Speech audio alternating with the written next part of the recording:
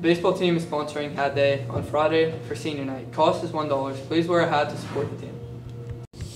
For breakfast tomorrow, there's gonna be breakfast bowl, milk, and juice. For lunch, there's gonna be cheese, ravioli, breadsticks, salad, fruit, veggies, and milk.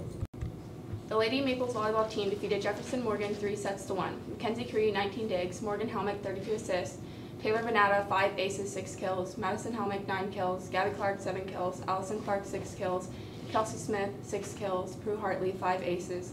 The JV team also defeated Jefferson Morgan two sets to one. The ladies take the court tonight against 100. Game time is 6 p.m. Make plans to attend.